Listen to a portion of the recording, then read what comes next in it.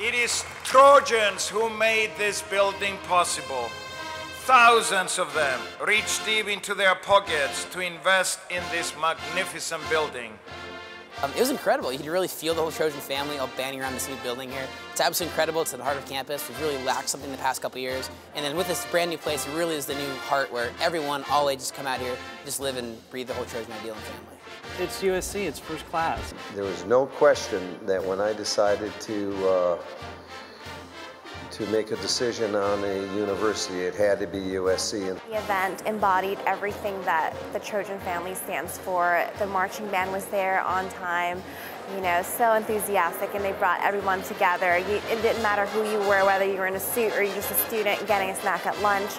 Um, everyone was throwing up their Trojan fingers, their fight on, and you know, it sent chills down my spine.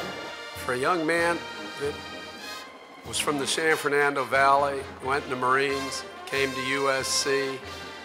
It's an unimaginable experience to be feeling what I'm feeling. It's just a great day in, in Trojan land to uh, see this project finish and everybody being able to utilize it. Winston Churchill once said, We shape our buildings, and afterward, our buildings shape us. No?